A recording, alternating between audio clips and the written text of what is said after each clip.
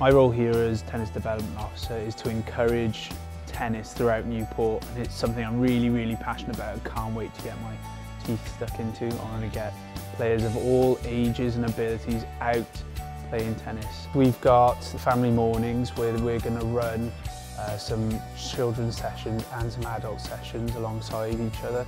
So that's something I really like to do and has worked well before. We've got cardio tennis as well, we can burn 600 calories in an hour. I'm really looking forward to running those sessions and you don't need to be a pro in order to do that.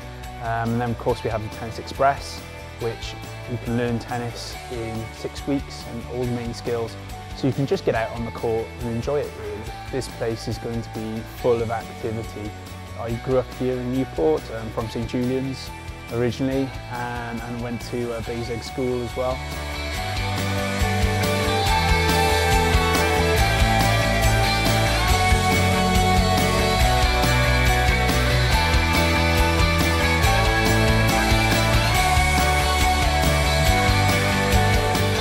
It's a bit of a homecoming this is and it's great to be back in the city I'm, I'm really proud of and I, I now want to take this opportunity to make good in the city and, and use this facility to the maximum.